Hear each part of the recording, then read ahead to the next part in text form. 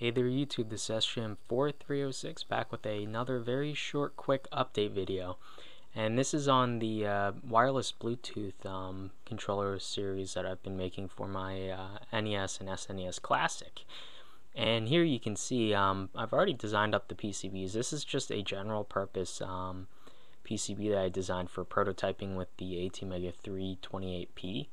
And that's what's commonly available in the Arduino Uno and um, the Pro, was it Pro Mini, Pro Micro, whatever series. Anyway, um, I actually designed this to use in multiple projects. And instead of designing a custom board just for this project, I thought it would be um, a good idea to um, design this generally and just stick this in this module and wire it manually.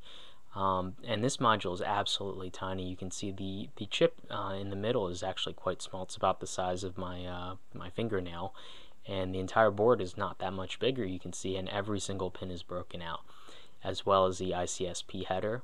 Um, so anyway yeah um, I'll be manually wiring this when it comes in. It's already um, produced and it's on its way here and expected to arrive um, Monday. Today's Saturday. Uh, so I'm super excited for that. I finished up the firmware too.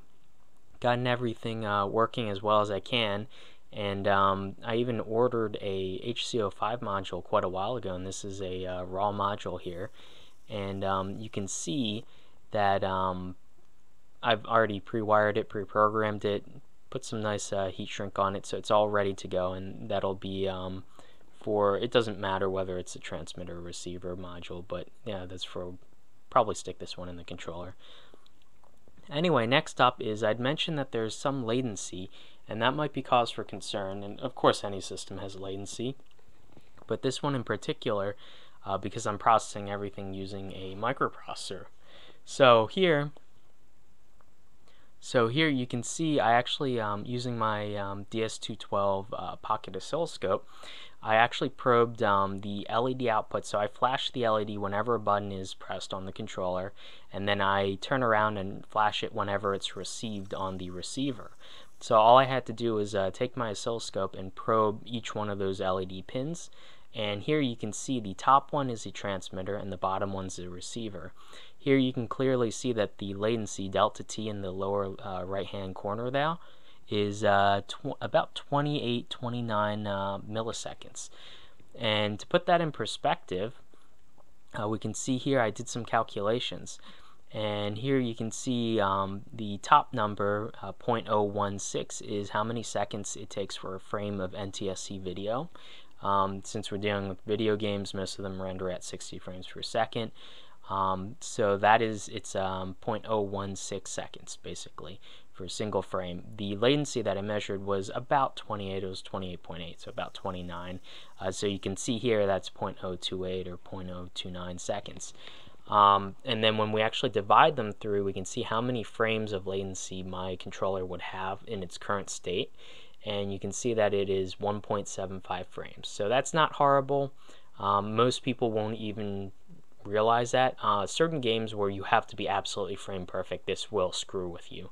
Um, so I can get the latency down a little more. I have optimized in terms of um, uh, basically removing Arduino library functions like digital write and digital read and replacing them with raw uh, port access instructions. So I've already uh, reduced some some sources of the latency. Um, most of this is actually going to be due to the internal workings of the Bluetooth module itself. So I have very little control over that portion, um, but I can further optimize some portions of my own software. Um, and that'll easily be I can always update that in the future.